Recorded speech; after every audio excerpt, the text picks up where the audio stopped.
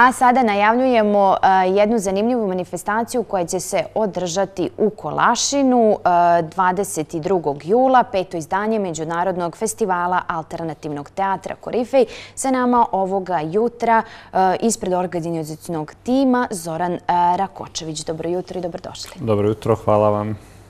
22. jula počinje svečani program. Šta ćemo sve to moći da e, vidimo zanimljivo u Kolašinu do 18. avgusta?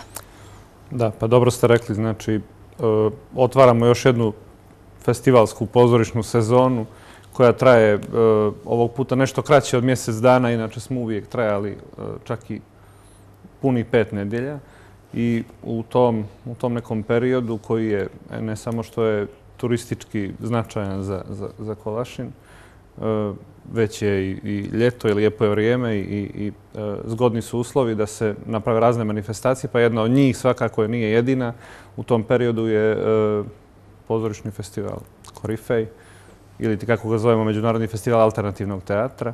Alternativnog najviše zbog toga što se trudimo da što više programa izmjestimo u ambijent, na otvorene prostore, na ulice, na trgove tako da se zaista dobija jedan, jedan razvrsan i specifičan događaj, da ga tako nazovem. Ove godine imamo e, gostovanja iz e, 12 država. E, prvi put najmanje imamo iz regiona, ali opet imamo neka značajna imena iz profesionalnog, ali i iz amaterskog svijeta, pošto festival je revijalnog tipa.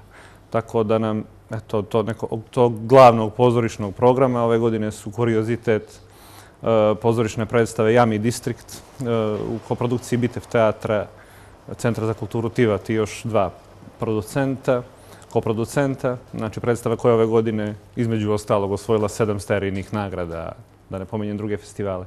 Kao i pozorišna predstava Kraljevskog pozorišta Zetski dom e, Bog masakra u kojoj igraju naši mladi crnogorski glumci i još, znači, još nekih dvadesetak predstava iz, da ne nabrajam sad, od Bosne i Hercegovine, Španije, Rusije do Poljske, Češke.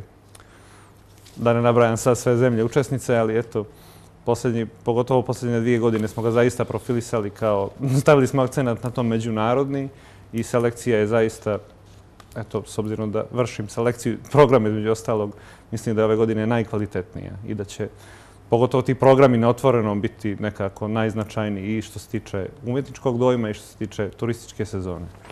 Osim e, predstave predstava koje ste pomenuli, bit će ih naravno još, također su u planu i neke zanimljive izložbe, filmske radionice, pa evo i par riječi o tome. Jeste, imamo znači četiri večeri e, filmskih projekcija. Selektor filmskog programa je filmski reditelj Sead Šabotić. Između ostalo prikazat ćemo film Mladena Ivanovića Beranselo, e, koji je jedna zanimljiva priča, jedna zanimljiva crnogorska angažovana tema a imamo naravno i selekciju sa, sa, e, iz, e, od studenta filmskih ispita, kako da izvojemo, ispitnih filmova studenta e, Akademija iz regiona i šire.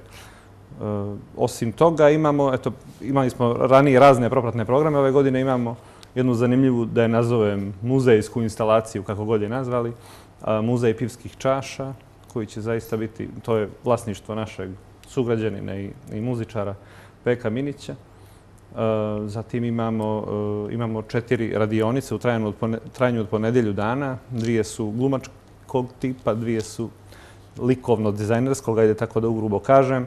I ove godine smo zaista smanjili taj, e, taj, taj radioničarski program na domaće snage, na ljude koji su porijeklom iz Kolašina, a završili su akademije uglavnom da, na Cetinju. A ranije smo zaista dovodili prosto finansijski uslovi su ove godine bili razlog. Dovodili smo čak i neka imena, značajna imena iz, iz, iz regiona. Tako da festival ima i svoju produkciju u smislu pozorišnog programa. Mi te predstave i dan danas igramo i razni su repertoarima.